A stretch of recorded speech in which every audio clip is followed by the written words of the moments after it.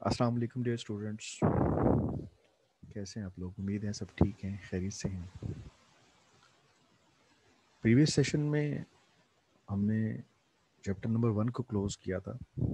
अब हम आगे बढ़ते हैं और स्टार्ट करते हैं चैप्टर नंबर टू इनशाला अपकमिंग डेज़ में मैं आपके साथ पूरा पेपर पैटर्न और दीगर मटेरियल्स पे डिस्कस करूँगा। तो स्ट्यून रहिए और हफ़्ते में रहिए। तो वीडियो के स्टार्ट में मैं शुक्रिया अदा करूँगा उन लोगों का जिन लोगों ने इन ऑनलाइन लेक्चर्स को अरेंज करने में मेरी मदद की है और जो दो स्टूडेंट्स हैं जिन्होंने बाकायदा इनको फाइनेंस किया है। तो बाकी सब स्टूडेंट्स के लिए ये चूँकि डेडिकेट कर दिए गए हैं तो जिन स्टूडेंट्स को भी ये मिलते हैं, इनको अच्छे अंदाज में तैयार करें। बहुत शुक्रिया जी। तो आइए बिस्मिल्लाह करते हैं आज के लेक्चर को। तो पहला क्वेश्चन जो फाइव पेपर्स में है, वो ये है कि if A is the given set and B is also given to you then find A minus B and B minus A दो चीज़ें फाइंड करनी है। अगर आप A minus B A difference B find करना चाहते हैं तो इसमें आप पहले ए सेट को प्लेस करेंगे। और फिर उसका डिफरेंस ले लेंगे बी सेट के साथ। तो जब आप डिफरेंस लेते हैं तो कैसे लिखते हैं? आपने वो एलिमेंट्स लिखने हैं जो पहले सेट में हो, लेकिन दूसरे में ना हो। तो पहले में देखिए वन है। क्या वो दूसरे में एग्जिस्ट करता है? आप कहेंगे नहीं। फिर पहले सेट में टू है। क्या वो दूसरे सेट में है? नहीं। और थ्री ये भी दूसरे सेट में नहीं है। तो ये रिज़ल्ट होगा। ए माइनस बी का। इसी तरह अगर आपने बी डिफेंस भी दे लेना है तो इसके लिए आप पहले बी को प्लेस करेंगे और फिर ए को।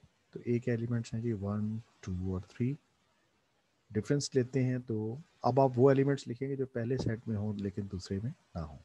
तो इस तरह five six four five six ये वो तीन एलिमेंट्स हैं, जो पहले सेट ने कंटेन किए हुए लेकिन दूसरे के पास नहीं है। इसी तरह आगे बढ़ते हैं। नेक्स्ट क्वेश्चन है, उसमें ये पूछा जा रहा है कि ए और बी दो सेट्स गिवन है तो show that A intersection B is equal to B intersection A तो यहाँ इंपॉर्टेंट ये है कि ये basically commutative law of intersection है, इसको प्रूव करना है। तो पहले हम इसकी लेफ़्ट हैंड साइड को टेकअप करते हैं, जिसमें आपको दिया हुआ है ए इंटरसेक्शन विद बी तो ए है आपके पास वन टू और थ्री जबकि बी है, उसमें एलिमेंट्स हैं फोर और सिक्स तो अगर आप इन दोनों का इंटरसेक्शन लें तो आपके सामने एक क्लियर सी इन्फॉर्मेशन है कि इन दोनों में कोई भी एलिमेंट कॉमन नहीं है। तो चूँकि कोई भी एलिमेंट कॉमन नहीं है, लिहाजा जब इसका इंटरसेक्शन लेंगे तो एक एम सेट आएगा। तो ये आपका रिज़ल्ट होगा ए इंटरसेक्शन बी का। इसी तरह अगर बी इंटरसेक्शन ए लें तो देखें वो क्या होगा। तो इसमें बी सेट को पहले लिखते हैं और ए के साथ इंटरसेक्शन ले लें। तो जब आप इसका इंटरसेक्शन लें तो आप देखेंगे इसमें भी कुछ भी कॉमन नहीं। तो लिहाजा हम कहेंगे, ऐसी सूरत में रिज़ल्ट आपके पास क्या आ जाता है? तो अगर हम वन और टू को कंपेयर करें तो by comparing one and two तो क्या रिज़ल्ट आता है आपके पास? You will see left hand side और राइट हैंड साइड दोनों की इक्वल आती है। इसी तरह क्वेश्चन नंबर थ्री में है, कहता है define overlapping sets overlapping sets कौन से होते हैं? दो सेट्स जो हैं, वो कब ओवरलैपिंग होंगे? दो sets define overlapping sets if the intersection of two sets is non empty अगर आपके पास दो सेट ऐसे हों कि जिनका इंटरसेक्शन लिया जाए तो वो नॉन एम्प्टी हो but neither is the subset of other लेकिन एक सेट जो है, वो दूसरे का सबसेट ना हो। तो ऐसी सूरत में उन सेट्स को हम कहते हैं कि वो ओवरलैपिंग सेट्स हैं। फॉर एग्ज़ाम्पल अगर मैं यहाँ एक सेट लेता हूँ, उसमें एलिमेंट्स हैं वन टू और थ्री और इस सेट का नाम हम रख देते हैं ए दूसरा सेट है, उसमें एलिमेंट्स एग्जिस्ट करते हैं जी। थ्री फोर और फाइव तो आप देख रहे हैं कि ये दो डिफरेंट किस्म के सेट्स हैं। तो इनकी अवेलेबिलिटी देख ली हमने। अब हम इन सेट्स को टेकअप करते हैं। तो आप देखें कि इन दोनों में एक एलिमेंट थ्री कॉमन है। और इनमें से कोई भी सेट दूसरे का सबसेट भी नहीं है। यानी कोई भी एक सेट पूरा का पूरा दूसरे सेट में कंटेंट नहीं है। लिहाजा आप कहेंगे कि ये दोनों क्या है? ओवरलैपिंग सेट्स हैं। ये दोनों ओवरलैपिंग सेट्स हैं। ये नीचे एग्जांपल और लिखी गई है, इसको आपने फॉलो नहीं करना। इसी तरह आगे कहते हैं write the each of the following sets in descriptive as well as in tabular form descriptive को उर्दू में हम कहते हैं बयानिया तरीका भी। यानी बयान करके लिखते दें और दूसरा है जी टेबुलर फॉर्म आप देखें यहाँ पर इसको क्या क्या लिखा गया, कहते हैं x such that x belongs to natural numbers तो ये नेचुरल नंबर्स का सेट है। और कहाँ तक है? एक्स इज़ लेस देन और इक्वल टू टेन एक्स जो है वो दस से कम है या दस के बराबर। तो इसका मतलब अगर हम टेबुलर फॉर्म में लिखें तो आप इसे लिखेंगे one two three four five six seven eight nine and ten तो ये आपने लिख दिया क्या? टेबलर फॉर्म में। तो टेबलर फॉर्म का मतलब आपने नेचुरल नंबर्स का सेट लिखा है, वो वन से स्टार्ट होता है और कहाँ तक जाएगा? अप टू टेन फिर हमने लिखना है इनको डिस्क्रिप्टिव फॉर्म में। तो क्या है? Set of first ten first ten natural numbers तो ये ऐसे नेचुरल नंबर्स का सेट है जो फ़र्स्ट टेन है। तो इस तरह से आप इसे क्लोज कर देंगे। आगे चलते हैं जी, ये कहते हैं under what condition set A and B मोनोइट ठीक है? सेटिस्फाई द स्टेटमेंट्स दिस वो कहते हैं, कौन सी ऐसी कंडीशन हो? अगर आपके पास दो सेट दिए हों तो ये स्टेटमेंट को सेटिस्फाई करे। तो यहाँ पर हमें देखना है कि कौन सी ऐसी स्टेटमेंट है जो इसको सेटिस्फाई कर सकती है। तो ए में से बी निकाल रहे हैं और आपके पास सिर्फ़ ए आ रहा है। और दोनों मोनोआइड भी हैं। मोनोआइड का मतलब होता है कि इसमें एक एक एलिमेंट है। अब मैं आपको एग्जांपल देता हूँ कि ए है, उसमें एक ही एलिमेंट है लेट सपोज़ टू है। जबकि बी है, उसमें एक ही एलिमेंट है लेट सपोज़ थ्री है। तो ये दोनों, पहली शर्त क्या पूरी करते हैं कि दोनों मोनोआइड है। मोनोआइड का मतलब होता है दोनों में एक एक एलिमेंट है। अब अगर हम ए का डिफरेंस बी से लें तो देखें ज़रा। ए में टू है एलिमेंट और बी में थ्री अब आप डिफरेंस लेंगे तो टू रह जाएगा। तो टू कौन है? ए है। तो इसका मतलब ए डिफरेंस बी ए के इक्वल आया। लेकिन कब आया? जब ये दोनों डिफरेंट हैं। जब ये डिफरेंट होते हैं तो आप कहेंगे, कौन सी कंडीशन है? व्हेन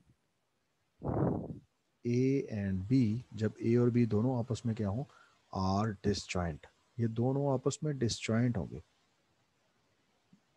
डिसजॉइंट यानी इनमें कोई भी एलिमेंट कॉमन ना हो, कोई भी एक दूसरे का सबसेट ना हो। डिसजॉइंट होगा तो ऐसी सूरत में ए डिफरेंस भी एक इक्वल आएगा। आगे कहते हैं write down the power set of the each of the following simple आपको एक सेट दिया गया है, इसका पावर सेट बनाना है आपने। तो पावर सेट के लिए आप लिखेंगे पी ऑफ़ ए और आपको पता है पावर सेट कैसे लिखते हैं? फ़र्स्ट ऑफ़ ऑल आप ये भी बना सकते हैं कि पावर सेट के एलिमेंट पहले जज कर लें। तो यहाँ एलिमेंट्स कितने हैं? एक ये है और इन दोनों को कंबाइन करके एक एलिमेंट ये है। तो ये दो है। तो पावर सेट में इसके एलिमेंट्स आएँगे two raise to the power two यानी फोर तो अब हम देखते हैं पावर सेट बनता कैसे पहला लिखते हैं हम एम यानी फाइव दूसरे में अकेला ए लिख दें। फिर अगले सेट में आप अकेला बी और सी लिख दें। जबकि अब हम क्या करेंगे? कंबाइन कर लेंगे।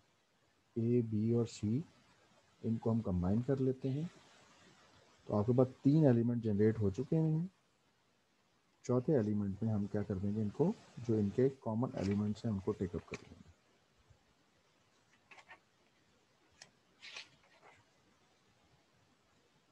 तो इस तरह से हम इनके रिजल्ट्स को लिख सकते हैं तो यहाँ पे हम लिख देते हैं ए और बी सी एक सेट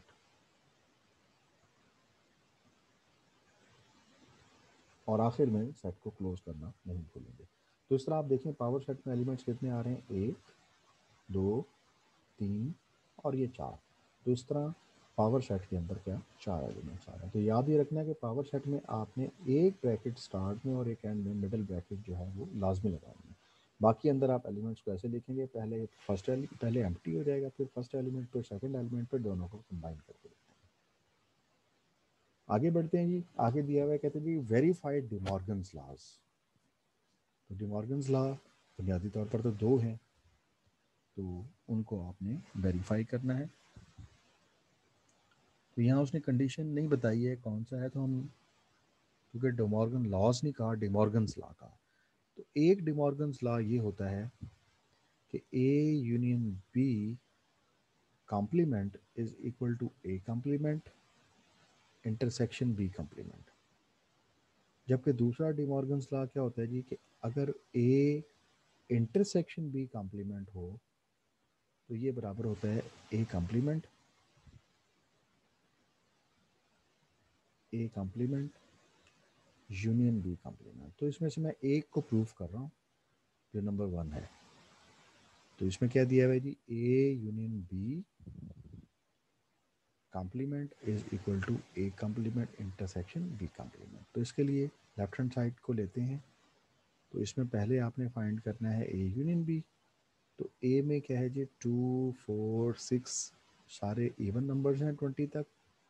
फिर इसका यूनियन आपने लेना है वन थ्री फाइव नाइनटीन तक। अब यूनियन जब आप लेते हैं तो इनको कंबाइन कर लेंगे। कंबाइन करते हैं one two three so on twenty तक सारे एलिमेंट्स आ जाएँगे। ये ए यूनियन बी होगा। बट आपको लेफ़्ट हैंड साइड पे चाहिए ए यूनियन बी कॉम्प्लीमेंट तो इसका क्या मतलब है कि इसका मतलब ये है कि यूनिवर्सल में से आप माइनस कर देंगे ए यूनियन बी को। अब आप गौर से देखें यूनिवर्सल सेट क्या है? यूनिवर्सल सेट आपको दिया हुआ है वन टू ट्वेंटी तो एक, दो, तीन, चार अप टू ट्वेंटी और जो ए यूनियन भी है, वो भी यही आया है. One two three up to twenty तो जब आप इनका डिफरेंस लेंगे तो डिफरेंस की सूरत में आपके पास एम टी आंसर आ जाएगा. खाली. क्योंकि इन दोनों में कोई भी ऐसा एलिमेंट नहीं है जो दोनों में कंटेंट ना हो. तो आपने एलिमेंट वो आंसर में लिखने होते हैं जो पहले में हो, लेकिन दूसरे में ना हो. तो इस रिज़ल्ट को आप कहते हैं रिज़ल्ट नंबर वन अब हम राइट हैंड साइड को टेकअप करते हैं तो राइट हैंड साइड के हैं दो हिस्से। पहला है जी ए कम्प्लीमेंट आपने फाइंड करना है, यानी यूनिवर्सल का डिफरेंस ए से लेना है। अब यूनिवर्सल में है up to twenty one to twenty elements और ए सेट में हैं सारे के सारे इवन नंबर्स यानी two four six eight up to twenty तो जब आप इनका डिफरेंस लेंगे तो आपके पास आ जाएगा वन थ्री फाइव सेवन यानी ऑड नंबर्स रह जाएँगे। लेकिन ट्वेंटी तक नहीं आएँगे क्योंकि ऑड नंबर्स नाइनटीन तक होते हैं। तो ये आपके पास अदर रिज़ल्ट आ गया। इसी तरह आप बी कम्प्लीमेंट लेंगे तो बी कम्प्लीमेंट का मतलब होता है यूनिवर्सल का डिफरेंस बी से लेना है। अब यूनिवर्सल जो है वो आपका है ट्वेंटी तक, इसका डिफरेंस बी से लेंगे तो बी में एलिमेंट्स क्या आते हैं? या then you one three five up to nineteen तो डिफरेंस जब लेंगे तो उसमें ऑड नंबर्स हैं तो डिफरेंस में आ जाएगा आपके पास। बाकी even two four six eight तो आपने वो एलिमेंट्स लिखने हैं जो पहले सेट में हों, लेकिन दूसरे में ना हो। अप टू ट्वेंटी अब आपको लास्ट स्टेप में ए कम्प्लीमेंट और बी कम्प्लीमेंट का इंटरसेक्शन लेना है तो आपने जो ए कम्प्लीमेंट निकाला है, उसके आंसर को प्लेस करें। और जो बी कम्प्लीमेंट निकाला है, उसके आंसर को भी प्लेस करें। और इन दोनों का इंटरसेक्शन लेंगे तो you will get empty set तो हम जानते हैं कि एम्प्टी को हम इस तरह से भी रिप्रेजेंट करते हैं और ये फाइव के सिंबल से। तो देखें by one and two one का रिज़ल्ट भी यही था और टू का भी यही रिज़ल्ट है तो इसका मतलब ये हुआ कि जो आपकी लेफ़्ट हैंड साइड है वो और राइट हैंड साइड ये प्रूफ हो गई तो ये एक डिमॉर्गन्स लॉ मैंने वेरीफाई किया है क्योंकि उसने डिमॉर्गन्स लॉ कहा था। दोनों लॉज नहीं कहे थे। तो दो लॉज होते हैं दो में से एक मैंने वेरीफाई कर दिया। आप चाहें तो आप दूसरा भी वेरीफाई कर सकते हैं। लेकिन चूँकि ये लॉन्ग क्वेश्चन नहीं था, इसलिए मैंने एक ही सॉल्व किया है। अगर ये लॉन्ग क्वेश्चन चार नंबर का होता तो हम दोनों को सॉल्व कर लेते। तो इसमें देखिए, अगर दो नंबर का जो कि है, ये शॉर्ट क्वेश्चन लिहाजा इन दोनों में से एक कर लें। दोनों करने की ज़रूरत नहीं है। आगे चलते हैं। यहाँ ज़रा स्लाइड पे देखें। ये चैप्टर नंबर टू चल रहा है। शायद ज़ीरो लिखा गया टू मिस हो गया। ओके राइट आगे देखते हैं राइट कहते हैं write two proper subsets of each of the followings इनके सिर्फ़ दो प्रॉपर सबसेट लिखने हैं। अब इसमें हैं दो एलिमेंट्स तो इसमें प्रॉपर में होता ही है कि आपने जो एलिमेंट्स लिखने होते हैं, वो कम लिखने होते हैं। यानी प्रॉपर वही छोटा होगा ना। टू प्रॉपर सबसेट्स सबसेट छोटा वही होगा, जिसमें एलिमेंट्स इससे कम होंगे। तो इसके प्रॉपर सबसेट्स में आपको पता है कि एम जो होता है, ये भी इसका प्रॉपर सबसेट होता है। इसके अलावा अकेला आप ज़ीरो लिख दें, अकेला वन लिख दें, ये सब के सब इसके क्या हैं प्रॉपर सबसेट्स हैं। इसी तरह कहता है write down the two power sets तो इसके लिए आप सेट का कोई नाम रख दें लेटेस्ट सपोज़ क्या सेट का नाम ए है तो इसका पावर सेट क्या होगा तो आप लिखेंगे पहले एम देन आप लिखेंगे अकेला वन, फिर अकेला टू फिर थ्री अब आप कंबाइन करना शुरू कर दें। वन को टू से कंबाइन किया, फिर वन को थ्री से कंबाइन किया, फिर टू को थ्री से कंबाइन किया और आखिर में वन टू और थ्री तीनों को कंबाइन करके और ब्रैकेट क्लोज कर देंगे सेट वाली। अब चेक ये करना है कि इसमें एलिमेंट्स कितने हैं। तो हम गिनते हैं यहाँ पे one two three four five six seven eight तो देखते हैं पावर सेट में कितने एलिमेंट्स होने चाहिए थे। हम जानते हैं पावर सेट के एलिमेंट्स के लिए फार्मूला होता है two raise to the power three क्योंकि इसमें एलिमेंट्स हैं तीन। तो दो की पावर आप तीन दे देंगे। और दो की पावर तीन कितनी होती है? आठ। तो हमने एलिमेंट्स चेक किए तो वो भी आठ है। इसका मतलब पावर सेट के एलिमेंट्स ठीक हो गए। आगे कहते हैं write the power set of this तो मैंने ये कहा कि पहले आप सेट का कोई नाम रख लें। फॉर एग्ज़ाम्पल इसका नाम हम सेट बी रख देते हैं। तो अब अगर आपने इसका पावर सेट लेना है तो वेरी सिंपल पहले आप एम लिख दें। फिर अकेला पॉजिटिव फिर अकेला नेगेटिव और फिर क्या होगा? दोनों को कंबाइन कर लें तो प्लस माइनस आखिर में सेट को क्लोज भी कर दें अब इसमें कितने एलिमेंट्स हैं जी? दो। एक कौन है प्लस और एक कौन है माइनस तो चूँकि इसमें दो एलिमेंट्स है सिर्फ़ तो अब हम देखते हैं कि जिसमें दो एलिमेंट्स हों, उसके पावर सेट में कितने एलिमेंट्स होते हैं। You will say two raise to power two that will result in four देखते हैं कि वन टू थ्री फोर तो चार एलिमेंट्स आपके पूरे हो गए। अब चलते हैं आगे कुछ एम की तरफ़ और देखते हैं कि उनको कैसे सॉल्व करना है। तो if A subset of B अगर ए जो है वो बी का सबसेट हो तो ए यूनियन बी याद रखें यूनियन में हमेशा बड़ा सेट आता है। यूनियन में हमेशा बड़ा। तो चूँकि बी बड़ा है सुपर सेट है ए छोटा सेट है, जब वो कह रहा है ना ए सबसेट ऑफ़ बी तो अगर वो सबसेट कह रहा है तो असल में इसको सुपर सेट कह रहा है, इसको बड़ा कह रहा है तो यूनियन में हमेशा बड़ा आता है। तो ये आएगा आंसर सेट बी नेक्स्ट कहता है ए आपको गिवन है domain of x plus y अब एक्स और वाई की डोमेन कहता है पाँच से कम। अब देखें एक्स प्लस वाई है, अगर वो कहता है इसको पाँच से कम रखना है तो इसका क्या मतलब है? पाँच से कम का मतलब ये है कि पाँच से कम कौन होता है? फॉर एग्ज़ाम्पल फोर है, क्योंकि इसमें डोमेन में चार वन टू थ्री फोर है। तो इसका मतलब ये चार के इक्वल ज़्यादा से ज़्यादा आ सकते हैं। तो इसका मतलब अगर आप दो नंबर्स को ऐड कर रहे हैं और ज़्यादा से ज़्यादा चार तक आप जा सकते हैं तो इसका मतलब ये हुआ कि चार, अब नंबर्स हैं आपके पास वन टू थ्री तो अगर अगर आप कॉम्बिनेशन बनाते हैं यहाँ तो मिनिमम जो डोमेन है, उसकी वैल्यू आप तीन तक लेके जा सकते हैं। क्योंकि तीन और एक का कॉम्बिनेशन करेंगे ना, यहाँ अगर मैं एक्स की जगह क्या पुट करूँ, इधर मैं एक्स की जगह अगर पुट करता हूँ थ्री तो वाई की वैल्यू वन आ जाएगी थ्री प्लस वन फोर क्योंकि ये फोर ऐसा नंबर है जो पाँच से कम है। तो कोई भी ऐसा नंबर हम रखेंगे, ठीक है? तो यहाँ जो पेयर्स हम रख सकते हैं ना, उन पेयर्स में हम बड़ी से बड़ी वैल्यू डोमेन की तीन रख सकते हैं। तीन से जैसे ही कोई बड़ी वैल्यू रखेंगे तो आंसर हमारा बाहर निकल जाएगा उससे। तो एक पेयर ये बन सकता है कि हो सकता है हम बना लें यहाँ पर डोमेन में। ठीक है? वन वन वन का पेयर बना लें। वन टू का बना लें पेयर वन थ्री का बना लें। इसी तरह आप बना सकते हैं टू वन टू टू ठीक है? टू टू तक जा सकते हैं। इसी तरह थ्री के साथ आपका वन का पेयर तो डोमेन आप देखें डोमेन में वन सब जगह मौजूद है टू मौजूद है और थ्री थ्री से बड़ी डोमेन नहीं है. तो डोमेन में तीन से ज़्यादा बड़ा एलिमेंट कोई नहीं आ रहा.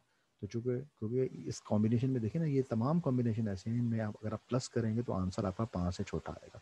अगर इसके अलावा कोई ले लेते हैं फ़र्स्ट कले मैं अगला ऑर्डर पेयर को ले लेता हूँ थ्री टू का ले लेता हूँ.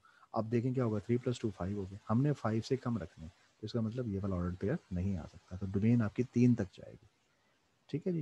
यानी आप फोर के साथ बना ही सकते। फॉर एग्ज़ाम्पल अगर आप फोर के साथ कॉम्बिनेशन बनाते हैं तो मिनिमम क्या है? फोर प्लस फोर और वन फोर और वन को ऐड करेंगे तो क्या हो जाएगा? फाइव तो फाइव जो है वो तो फाइव के बराबर हो गया। आपने रखना है फाइव से कम। इसका मतलब ये ऑर्डर पेयर नहीं ले सकते। तो डोमेन में बड़े से बड़ा एलिमेंट आपका थ्री तो वन टू थ्री ये आपके डोमेन के एलिमेंट्स होंगे। आगे कहते हैं set of A set of all alphabets and then A is called हाँ जी, अगर सारे के सारे अल्फ़ाबेट्स आ जाएँ ए में, आपको पता है कि अगर सारे अल्फ़ाबेट्स हो ना तो अल्फ़ाबेट्स आपको पता है ये क्या होते हैं? वन ए बी सी कहाँ तक होगा? जेड तक।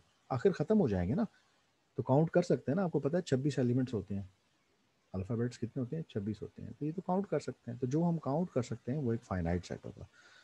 नेक्स्ट कहते हैं if two sets have no common elements then they are called हाँ जी, जिनमें कोई एलिमेंट कॉमन ना हो उनको कहते हैं डिसजॉइंट कॉमन नहीं है, इसका मतलब उनमें जॉइंट कोई नहीं है। अलग है बिल्कुल। जो अलग हैं डिफरेंट है, उन्हें हम डिसजॉइंट कहते हैं। नेक्स्ट है, कहते हैं सेट दिस इज़ कॉल्ड हाँ जी। अब उसने सेट क्या लिखा है? सेट के अंदर एक ऑर्डर्ड पेयर लिख दिया। तो सेट के अंदर उसने एक ऑर्डर्ड पेयर देखे ना वन टू ऑर्डर्ड पेयर की शक्ल में। ये सेट की अलामत भी डाल दी और अंदर क्या डाल दिया? इस तरह एक ऑर्डर्ड पेयर लिख दिया। तो आप ये देखें ये जो सेट है, ये किस किस्म का है? तो ये इसकी जो फॉर्मेट है, वो ऐसे है कि जैसे एक ऑर्डर्ड पेयर होता है। यानी जो रेगुलर सेट की फॉर्मेट है, वो नहीं होगी अगर आप रेगुलर सेट की फॉर्मेट देखें तो वो रेगुलर फॉर्मेट नहीं है, बल्कि ये किसमें है? एक ऑर्डर्ड पेयर की शक्ल में लिखा हुआ तो लिहाजा ये एक ऑर्डर्ड पेयर की शक्ल में है, लेकिन ये सिंगल ऑर्डर्ड पेयर है। क्योंकि ये सिंगल ऑर्डर्ड पेयर है, लिहाजा इसे सिंगलटन सेट कहेंगे। ये कौन सा सेट है? सिंगलटन यानी इसमें एक एलिमेंट है। यानी ये एक ऐसा सेट है, जिसमें लिखा तो ऑर्डर्ड पेयर है, लेकिन उसमें सिंगल एलिमेंट है, लिहाजा ये एक सिंगलटन सेट है। सिंगलटन का मतलब होता है जिसमें एक एलिमेंट हो। नेक्स्ट देखिए जी क्वेश्चन नंबर सिक्स में क्या कहता है? कहता है सेट दिस इज़ कॉल्ड अब देखिए, ये अगर इस तरह लिखा जाता तो ये एम्प्टी था, लेकिन इसके अंदर एक और एलिमेंट डाल दिया गया। तो इसका मतलब अब ये एम्प्टी नहीं रहा। तो ये क्या होगा? फाइनाइट इनफाइनाइट हम कहेंगे नहीं एम्प्टी एम्प्टी भी नहीं है। सिंगलटन ये बात ठीक है तो ये वाकई सिंगलटन सेट है, इसमें सिंगल एलिमेंट एग्जिस्ट करता है। नन तो ये एक्शन आ आगे कहते हैं which of the following is unary operation unary का मतलब क्या होता है? यूनरी का मतलब होता है वन जैसे मैं कहता हूँ यूनरी ऑपरेशन जैसे कि आप किसी चीज़ का अंडर रूट ले लें, ये एक यूनरी ऑपरेशन है। ठीक है? किसी चीज़ का अगर आप अंडर रूट ले लेते हैं स्केयर ले लेते हैं स्केयर रूट ले लेते हैं तो कहते हैं एडिशन एक जनरल ऑपरेशन आप कहेंगे नहीं एडिशन नहीं हो सकता। क्योंकि एडिशन जब भी होगा ना, वो दो रकमों के दरमियान होगा। जब भी आप प्लस करेंगे ना, एक रकम इधर लिखी जाएगी और दूसरी इधर। तो चूँकि दो रकमों के दरमियान, जो दो रकमों के दरमियान होता है, उसको कहते हैं बाइनरी ऑपरेशन कौन सा? बाइनरी मल्टीप्लीकेशन मल्टीप्लीकेशन जब भी करेंगे, ये भी दो रकमों के दरमियान होगी। फ़र्स्ट करें इधर चार है और तीन है मल्टीप्लाई करें तो आंसर बताएँ। तो इसका मतलब ये दो रकमों के दरमियान हो रहा। तो जो प्रोसेस दो के दरमियान हो, उसे कहते हैं बाइनरी ऑपरेशन तो ये भी बाइनरी हो गया. डिवीज़न जो होता है, ये भी हमेशा बाइनरी ऑपरेशन होगा. यानी ये भी दो रकमों के दरमियान होगा. भैया आठ है, इसे दो पे डिवाइड कर दें. तो इसका मतलब ये भी बाइनरी तो एक वाहिद स्केयर रूट लेना ऐसा है कि जो यूनरी ऑपरेशन है, जो सिंगल टर्म के ऊपर होगा. आप ऐसे करेंगे, ये सिंगल टर्म लिखी अंडर रूट लिया और आंसर लिख लिया. तो ये यूनरी ऑपरेशन यूनरी का मतलब होता है जो एक टर्म पर लगे. यू यूनरी, ठीक है? यूनरी से जो सिंगल पे हो। आगे कहते हैं if B is subset of A तो समझ आ गई बी बड़ा है ए बी छोटा है ए बड़ा सेट है। Then the complement of B is तो कॉम्प्लीमेंट कैसा होगा? चूँकि ये है ही छोटा तो जब आप बी का कॉम्प्लीमेंट लेंगे, वो कैसा आएगा? जी। Then complement of B B छोटा है ए बड़ा सेट है। अगर आप ए में से बी निकालेंगे, कुछ ना कुछ आएगा। लेकिन जब आप बी में से ए निकालेंगे, कुछ नहीं आएगा, यानी असल में एम्प्टी आएगा। एम्प्टी सेट एम्प्टी ऐसे खाली या इसे ऐसे भी कह सकते हैं अब देखते हैं कि ये खाली किससे क्रॉसपॉन्ड कर रहा है कहते हैं ए में से बी निकालें ए में से बी निकालें खाली नहीं आएगा याद रखें क्योंकि ये कॉम्बिनेशन ऐसा ए प्लस बी ये भी नहीं आ सकता A intersection B A intersection B जो है ए और बी का इंटरसेक्शन भी नहीं आएगा अब ए यूनियन बी ये भी पॉसिबल नहीं क्योंकि एम्पटी सेट आ रहा है एम्पटी जो है, वो इन सब में से किसी की भी पॉसिबिलिटी नहीं होगी। बुक में तो उन्होंने ए दिया हुआ है बट ऐसा नहीं है। B is subset of A